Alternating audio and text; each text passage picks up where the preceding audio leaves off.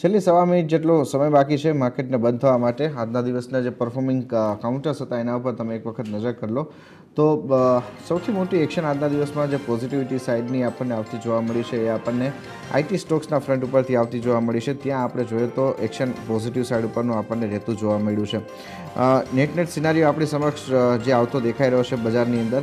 એ આપણને એક કન્સન્સ આપતું દેખાઈ રહ્યું છે કે અહીંયા આપણને ઉપરની તરફના લેવલ્સને આપણે કેટલા આવતીકાલે ફોલોઅપ કરી શકીએ છીએ. ટેક મહિન્દ્રા હીરો મોટોકોપ ઇન્ફોસિસ વેદાંતા ગેઇલ એચસીએલ ટેક અને મેટલ સ્પેસ ઓલમોસ્ટ આપ જુઓ તો આઈટી અને મેટલ સ્પેસ જ આજે એવી છે કે જેણે આજે આપણને માર્કેટને સપોર્ટ કર્યો છે.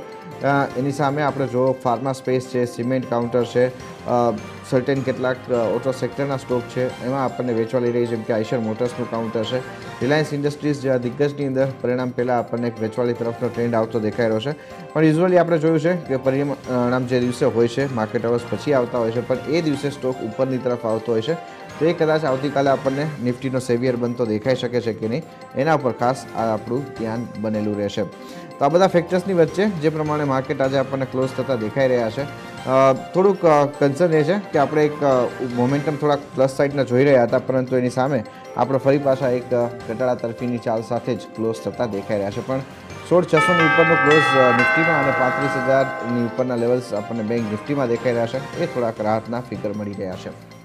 તો ઓલરેડી આપણે આજે ઇન્ડેક્સનો તો આવતીકાલની ચાલને આપણે ડિસ્કસ કરી ચૂક્યા છીએ. અનુમાન નહોતું કોઈને, આજે એક્સપાયરી આ લેવલ ઉપર આવતી દેખાશે, પણ ફાઇનલી એક્સપાયરી આપણે આ રીતના નીચેના લેવલ્સ ઉપર આવતા જોઈ રહ્યા છે. તો લેટ સી કેવી રીતના આવતીકાલનો દિવસ આપણને પેન આઉટ થતું દેખાય છે.